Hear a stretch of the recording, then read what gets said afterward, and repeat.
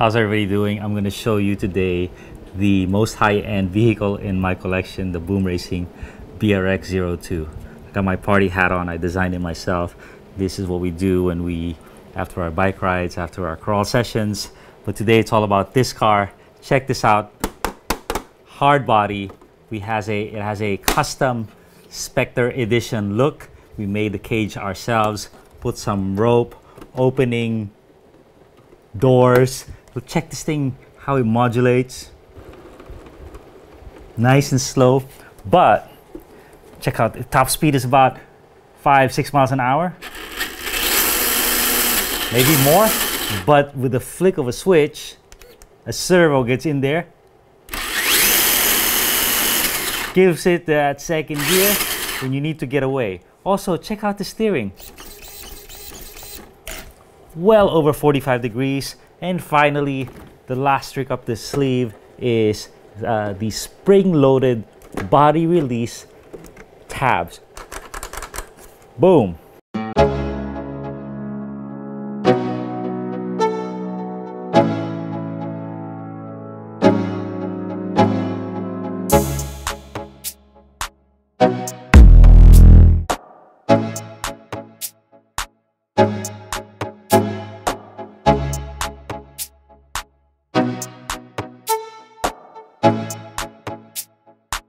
Or coil, realism or performance. Every body is unique. It has your unique license plate. I should put it on, huh? And um, so let's open it. And the packaging, everything is in here except for the body, of course. But check this out. It's three levels of parts in a very organized format. So you just you just take out the layers like that and I will I'll show you the highlights. The assembly took about six, seven hours and it is just perfect, you know, kind of like a Vanquish. Uh, the highlight are these carbon fiber chassis. So the BRX02 is a, a successor to the BRX01. It is wider, carbon fiber, a few improvements, a clipless, body clipless mounting system uh, compatible with a few bodies and I'll tell you all about that. And this one has leaf springs perfectly tuned.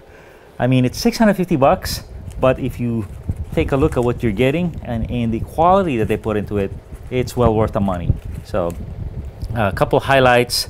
You know, you have these uh, uh, uh, instead of dog bones in the middle. You know, you have these middle drive shafts that are just so so precise. Bumpers that are metal. No need to upgrade these things. Um, and then uh, tires that are just so realistic. Tiny little tires though for for this vehicle. Uh, and a two-speed drivetrain. They give you a servo for the two-speed and then look at these. I forgot what they call these axles but they are built already and they're perfectly built. So that's what you're getting. About 650 bucks like I said and you could you could use any body but if you want the clipless mounting system you want to use two available Team Raffee bodies. One is a Land Rover Defender SUV and the other one that we have is a Land Rover pickup.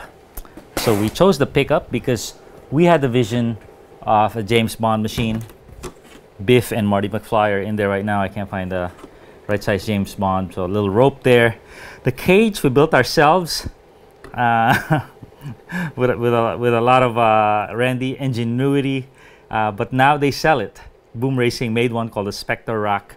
It, it's made to look just like the one in the movie. Uh, I believe 50 bucks is what they charge, but opening everything, doors, uh, hood. Uh, oh, we have some diamond plating here, folding mirrors. Just an amazing body, a full interior, and you know it. It's not heavy. It's not light. It's about four pounds. And I'll show you the chassis, the highlights of the chassis. So here we go, front to rear. This is this is our own bumper. We didn't use uh, their bumper because we wanted to make it make it look like the Spectre one. But these are the re receivers for the body mounting system. So rigid, you know, no Velcro, no upside down body clips or uh, screws. It just boom, spring loaded.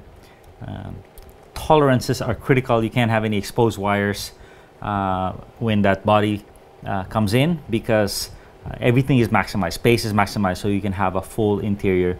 The gearbox is here, so motor and then boom, uh, and the two-speed is right here, the servo. So three-channel system, it, and it's actually handy, you know, to have this two-speed because there's a huge difference between first and second gear. The um, uh, the underpinnings are all quality stuff. Nice shocks, good articulation. The receiver is back here, so you have to run these wires. Batteries over here. Found a spot for our big ESC. We're using the AXE V2 system. A lot of power uh, on, on this bad boy. And the wheels we're using are pretty special. These are Boom Racing wheels, but we have these 500 gram weights in the front. So essential that um, over here I think 200 grams. Essential that you get the weight down, counter that four pound body, and you can see the performance. It's actually pretty darn good. So, so there you go. If you're into the the high end, you know, Vanquish is one option, but this is another one that's just completely mind blowing. They even have a dually version of this.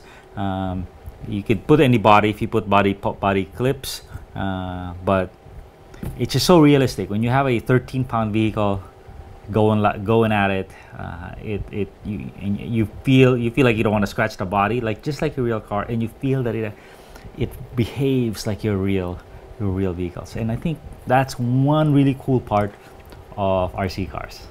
Thanks for time, guys, and enjoy the running video. Oh, I have some questions at the end for you guys, uh, so hang hang on.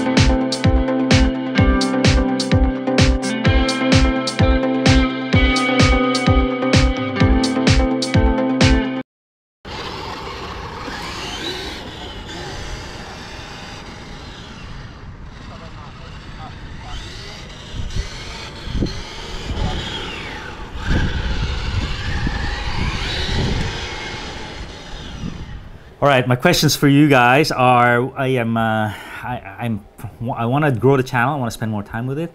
Do you guys value uh, an Instagram? I can run some contests, you know, grow the subscribers and whatnot. Uh, I can also do what some folks are doing Patreon, where you uh, donate money to me. Um, and you know uh, su- support the channel maybe get some perks early releases some b-roll of the video some more information. So what do you guys think? Uh, what are some good ideas on how to grow this channel sustainably? Because i'm spending now you know 20 to 40 hours a week on it and spending a lot of money buying these things. All right. Thanks a ton guys